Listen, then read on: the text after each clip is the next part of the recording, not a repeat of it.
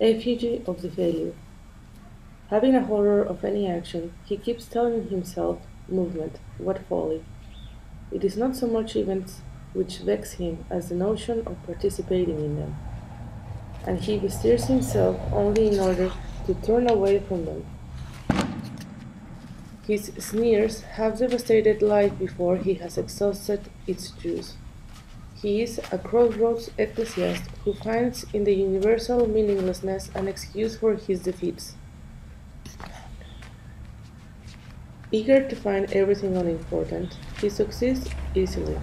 The evidence preponderates on his side. In the battle of arguments, he is always the winner, as he is always the loser in action. He is right. He rejects everything, and everything rejects him. He has prematurely compromised what must not be compromised in order to live. And since his talent was over enlightened as to his own functions, he has squandered it lest it dribble away into the inanity of a work, bearing the image of what he might have been as a stigma and a halo. He blushes and flatters himself on the excellence of his sterility, forever alien to naive seductions. The one free man among the helots of time. He extracts his liberty from the enormity of his lack of accomplishments He is an infinite and pitiable God whom no creation limits, no creature worships, and whom no one spares. The scorn he has poured out on others is returned by them. He expiates only the actions he has not performed, though their number exceeds the calculations of his wounded pride. But at the end, as a kind of consolation, and at the close of a life without honors, he wears his uselessness like a crown. E. M. Cioran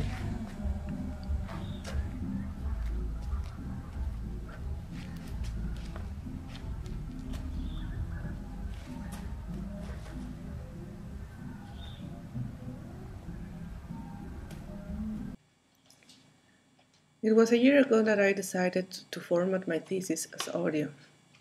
There was a need for speech, a need for presence, the need to make a moment visible but not permanent, something that could be and belong, but that its meaning would include the future attempt for relevance, relevance in the sense of change.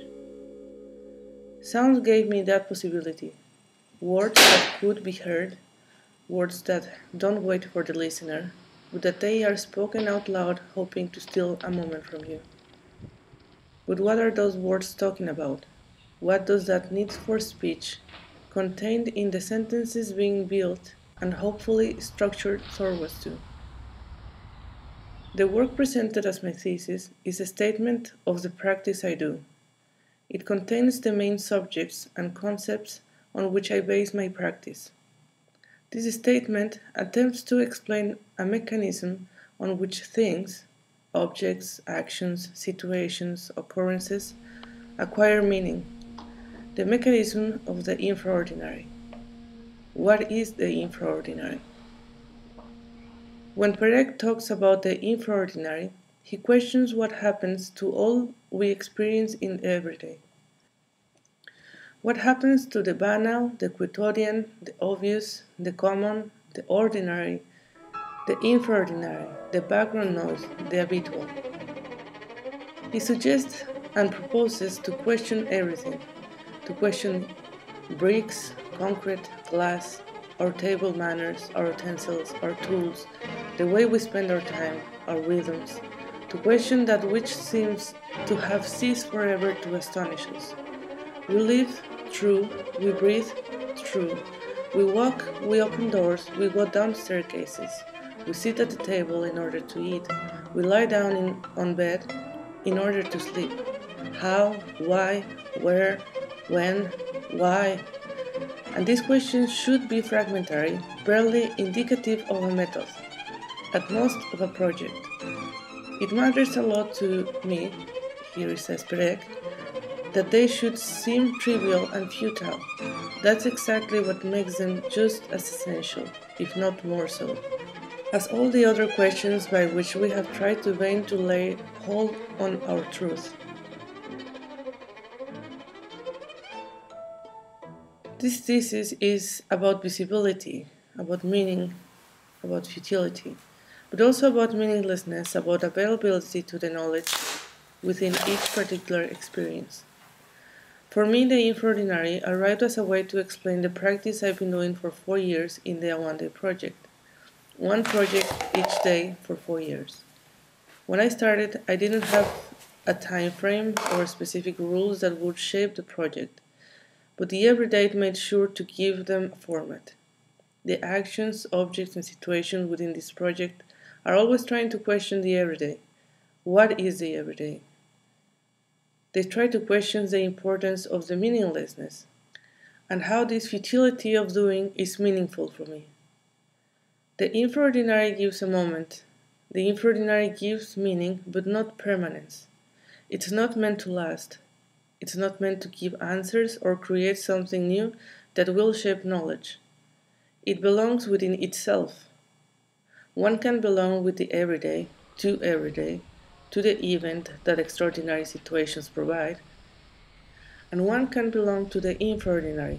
But just as the concept of the inframince of Duchamp, the infraordinary is something that goes and only grasps as the opportunity for visibility and belonging arrives. But that is not meant for one to hold on to. That is why it was important to have these concepts as sound a concept that is trying to speak of itself within its own rules of existence. It exists only as it talks of itself in its own platform, just as the soapbox practice.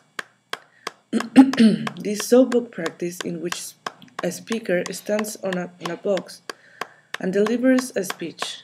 What is the difference between the soapbox and any other kind of talk in the form of speech? One of the main elements on which I find the soapbox practice unique is in its nomad quality of belonging without settlement. There is a relationship between the speaker, the box, and the place where this box is settling. However, even if the place where this speech is being delivered has been chosen specifically, even if it might not have been the case, it is an ephemeral settlement. The box is located in a place of transit, but is making a place of its own, one that will only last as long as the speaker is on top and the speech is taking place. And very much as the soapbox speech delivered, the infraordinary eludes visibility once abandoned the top of the box. I can see the box, I see the speaker, but I cannot find the speech. It's waiting to be settling again to belong in a time without a space.